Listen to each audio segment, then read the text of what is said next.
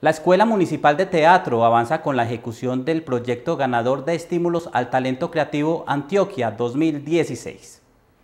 Es así como el grupo de proyección Sala de Espera Teatro ha venido realizando una serie de presentaciones en los diferentes municipios de la subregión Páramo. Hemos estado en el municipio de Nariño y luego en el municipio de Argelia, en la cual eh, la puesta en escena ha tenido gran acogida por parte de la población en especial eh, los jóvenes que han estado eh, vinculados a esta propuesta de la obra Los Unos y los Otros. Eh, hemos estado muy, muy contentos con la, con la ejecución que hemos venido realizando, acá con el estreno que realizamos en el Festival de Teatro Cañabrava y luego con las instituciones, con algunas instituciones educativas del municipio de Sonsón. Las próximas localidades en ser visitadas con esta obra serán Abejorral y La Unión para que el, Teatro Sonsón se siga proyectando, eh, observando el talento local que tenemos nosotros en el municipio, la fortaleza en, las artes escénicas y proyectando esta propuesta que dentro de muy poco se, también se va a realizar. Una vez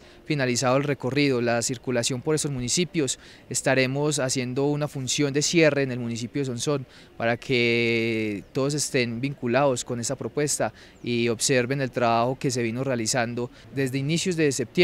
La función de cierre en el municipio de Sonsón se tiene programada para el día jueves 24 de noviembre.